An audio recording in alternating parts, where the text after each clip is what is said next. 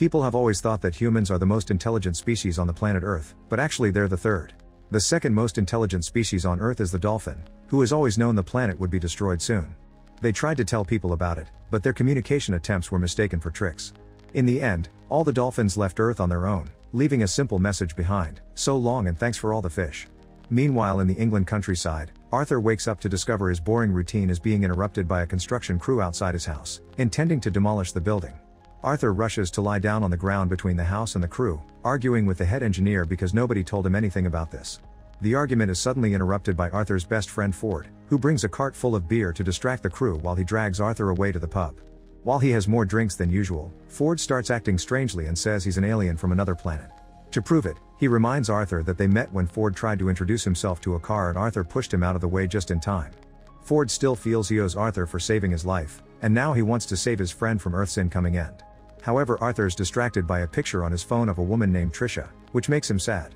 He had met her at a party and the two of them had hit it off. But when Trisha asked Arthur to come with her to Madagascar to look for adventure, Arthur turned her down because he liked his peaceful British life. At that moment, a flashy man named Zaphod cut in and took Trisha away, but Arthur never stopped thinking about her. Their chat is interrupted when Arthur hears the sound of demolition and runs back to his house, where he sadly discovers his home is already gone. Suddenly, the area is covered by a huge shadow and the crew runs away when a giant spaceship appears in the sky. Ford isn't surprised, he just hands Arthur a towel and tells him to hold tight while he lifts his thumb, which has a glowing hitchhiking ring that takes them right into the ship. This spaceship is commanded by a bad-tempered and bureaucratic alien species known as Vogons, and at that moment the Vogon captain sends a message to the entire world announcing that there have been plans to build a hyperspace expressway in the galaxy, so they'll have to destroy Earth to get it out of the way. The planet suddenly finds itself surrounded by Vogon ships and all humans panic right before Earth explodes, only leaving dust behind. Meanwhile, Arthur learns that Ford is a journalist that had been working on the Earth entry for the Hitchhiker's Guide to the Galaxy, a universal guidebook with tips for any planet you may want to visit. The existence of aliens is shocking, but Arthur doesn't care, he just wants to go home, so Ford has to inform him the Vogons destroyed Earth. While Ford tries to find a hole in the wall to send a new signal with his ring, Arthur reads about Vogons on the guide, learning they're the most unpleasant species in the universe and that their poetry is a form of torture. Suddenly the Vogons see both men on the security cameras and immediately send a warning through the speaker, but Arthur can't understand what they're saying. Ford inserts a little fish in his ear and explains it's the Babel fish, a little alien that will translate everything you hear into words you can understand. A bunch of Vogons show up and capture Arthur and Ford to tie them up for the captain, who proceeds to read poetry to them. Ford squirms in pain, but Arthur doesn't get what the big deal is, although to be fair he can't even understand the poem. When the captain asks for their opinion, Arthur lies and says it was great, offering a full analysis of the emotional impact. However, the captain takes it as an insult and orders that the duo shall get thrown out. The Vogons ignore Arthur's and Ford's pleas and push them out of the ship, then the duo floats in panic for a few seconds until suddenly, shapes around them begin changing until a spaceship appears. Now Arthur and Ford find themselves shaped as sofas inside this very round ship, but as soon as they scream, they revert to their usual figures. In another part of the ship Zaphod, who turns out to be the president of the galaxy, is watching the news about how he stole the ship, which is known as the Heart of Gold. At that moment Trisha interrupts him to announce the system has detected hitchhikers, which the ship picked up by mistake when they used the improbability drive. Zaphod is worried that they may be with the Galaxy Police Force and gets his gun, but Trisha decides to be cautious and sends a robot instead. This robot turns out to be Marvin, who lives in a constant depressed state and can only say negative things about a situation. Marvin picks up Arthur and Ford and guides them through the ship's corridors, where they notice every door talks as they walk through them. Meanwhile, the Vogons set out thousands of ships into hyperspace to go after the Heart of Gold.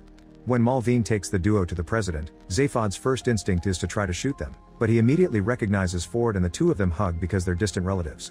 Arthur is in shock because he remembers Zaphod from the party, but Zaphod doesn't have any idea who he is. Then Trisha shows up too and Arthur is delighted to see her. But when he tries to tell her about Earth, Zaphod takes Arthur aside and threatens him into keeping the secret. Arthur is creeped out when he sees Zaphod has a second head hiding in his neck. It turns out that you can't be president with a whole brain, so Zaphod carved it out. He also has an extra hidden arm that he uses to hit Arthur and embarrass him in front of Trisha. Suddenly, hundreds of Vogon ships appear out of the blue, and the Vogon captain, together with the Galaxy vice president, asks the group to surrender. Zaphod refuses and makes the ship go into hyperspace, making the Heart of Gold teleport to another spot in the galaxy. Afterward, Arthur approaches Trisha to catch up and shows how jealous he is that she left with Zaphod. Trisha reveals she's changed her name and shows Arthur all the cool gadgets the ship has, like a machine that reads your mind and makes whatever you're craving. She's always wanted adventure and to leave their little town, so she isn't sorry that she chose Zaphod over Arthur. When she looks for some medicine for Arthur's wound in her bag, two mice come out of it and flee the kitchen. Then Zaphod shows the group a video to explain why he stole the heart of gold. Many years ago, a supercomputer named Deep Thought was built in order to answer the ultimate question of life, the universe, and everything. It took 7 million years for Deep Thought to come up with the answer, which was 42. Nobody understood what it meant, and Deep Thought explained it only knew the answer, so they had to make a better computer to get the ultimate question. Zaphod wants to find the ultimate question for fame, and for that he needs to go to planet Magrathea, which can only be reached with the Heart of Gold's improbability drive through trial and error. The improbability drive teleports the ship to a random location in the cosmos, and this sometimes causes weird shape-shifting effects on the passengers that go away after a few seconds. This time when Zaphod activates it, the crew transforms into knitted figurines. This distracts Arthur and gives the mice the chance to pluck some hair from his head. After they return to normal, they discover they've arrived at Viltvodle V, home of Zaphod's political rival. Zaphod wants to pay him a visit, so they land the ship and meet the Jatravartid people, who believe the universe was sneezed out of the nose of a being called the Great Green Arkleseizure.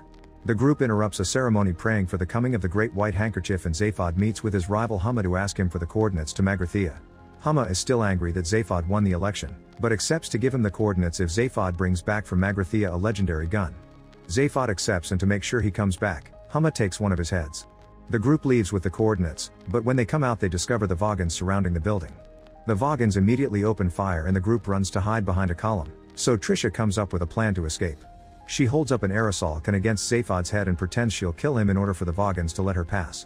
Unfortunately the Vogons manage to grab her and arrest her on the spot before opening fire on the guys again. Ford and Arthur pick up Zaphod and drag him back to the ship to escape. Zaphod tries to make the ship go to Magrathea, but Arthur stops him and asks to be taken to Vogsphere, the homeworld of the Vogons, to save Trisha. The ship's AI informs them the guidance system has been deactivated, which the mice did in secret. They have no choice but to use a regular escape cop and fly the traditional way. Moments later, the group arrives at Vogsphere. Since Zaphod isn't thinking clearly with only one head, Ford puts a cap on his head on which he must squeeze lemons every few hours to give Zaphod's mind a kick. Then the men begin making their way to Vogon prison, only to encounter swatters on the ground that hit them every time they take a step. No matter what they try they can't stop them, thus the trio runs through the swatters to reach the building in absolute pain. In the meantime, Trisha is interrogated by the Vogons and she finally learns that Earth was destroyed.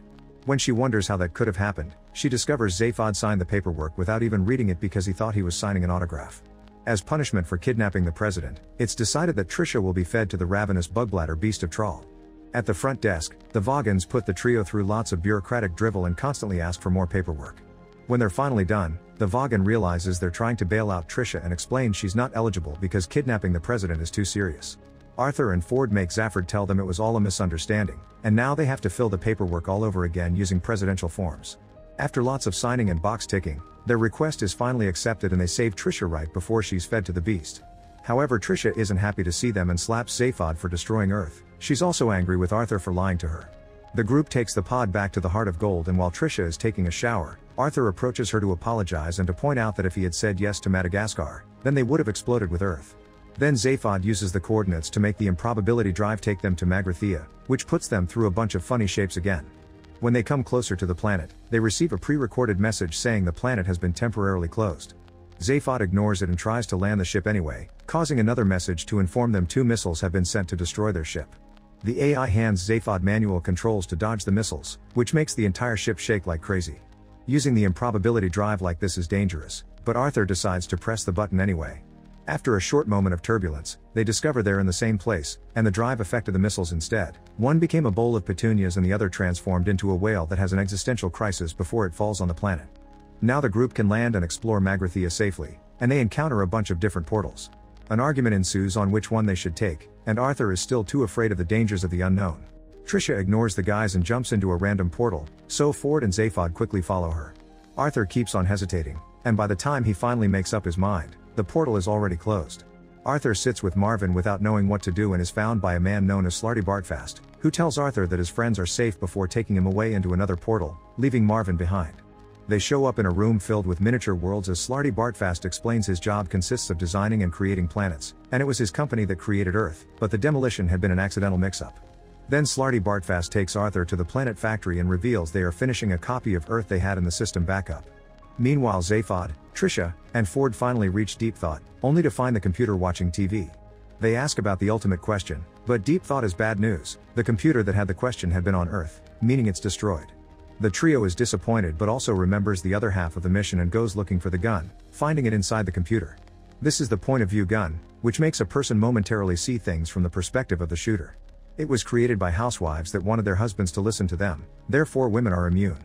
Trisha immediately shoots Zaphod with it to make him understand why she's angry, but hearing him speak her own thoughts makes Trisha realize that she's upset because she's discovered life is meaningless and that she's been jumping from guy to guy to fill the hole in her heart, yet she ignored the one guy that could truly understand her.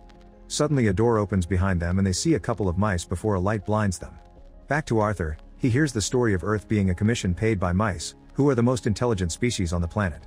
All this time, mice had been experimenting on humans while letting them believe they were the ones experimenting on the mice.